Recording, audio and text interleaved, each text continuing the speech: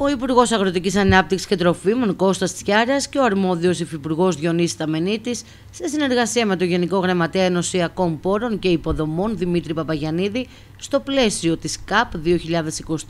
2023-2027, ανακοίνωσαν την ανάρτηση για διαβούλευση σχεδίου απόφασης λεπτομεριών εφαρμογής της παρέμβασης P3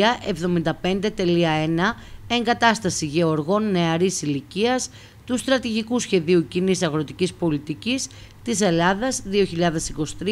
2023-2027 προϋπολογισμού 410 εκατομμυρίων ευρώ. Στόχος της παρέμβασης είναι η προσέλκυση και διατήρηση στον τομέα νέων σε ηλικία γεωργών η διευκόλυνση της βιώσιμης επιχειρηματικής ανάπτυξης σε αγροτικές περιοχές, καθώς και η προώθηση της απασχόλησης, της ανάπτυξης, της ισότητας των φύλων, συμπεριλαμβανομένης της συμμετοχής των γυναικών στη γεωργία. Στο πλαίσιο αυτό προβλέπεται η παροχή κατά αποκοπή οικονομικής στήριξης σε νέους προκειμένου να εγκατασταθούν για πρώτη φορά ως αρχηγοί σε γεωργική εκμετάλλευση, υλοποιώντας επιχειρηματικό σχέδιο ανάπτυξης της γεωργικής τους εκμετάλλευσης.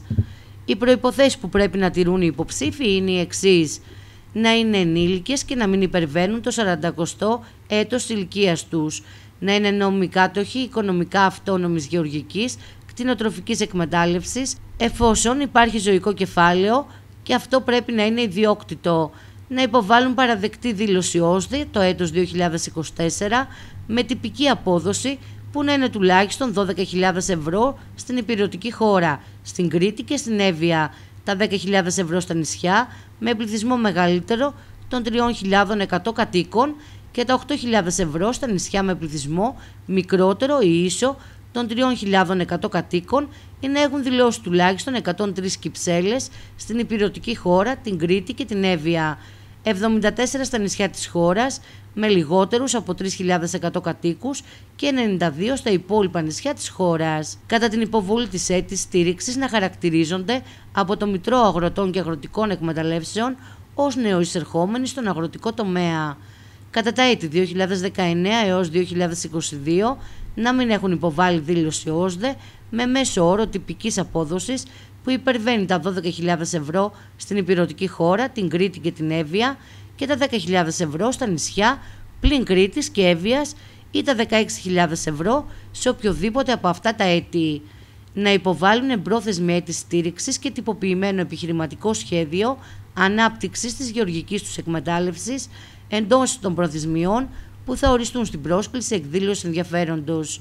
Το ποσό στήριξης παρέχεται υπό τη μορφή κεφαλαίου μη επιστρεπτέας ενίσχυσης κατά αποκοπή ποσό και διαμορφώνεται ως εξής. Μόνιμη κατοικία σε κανονική περιοχή 30.000 ευρώ, εκμετάλλευση με προσανατολισμό στη ζωική παραγωγή 40.000 ευρώ. Μόνιμη κατοικία σε περιοχές ορεινές ή μειονεκτικές ή σε περιφερειακές ενότητες με πληθυσμό πυκνότητα έως 35 κατοίκους 32.500 ευρώ, 42.500 ευρώ για εκμετάλλευση με προσανατολισμό στη ζωική παραγωγή. Μόνιμη κατοικία σε νησιά έως 3.100 κατοίκων, 34.000 ευρώ και 44.000 ευρώ εκμετάλλευση με προσανατολισμό στη ζωική παραγωγή. Ο δικαιούχος λαμβάνει το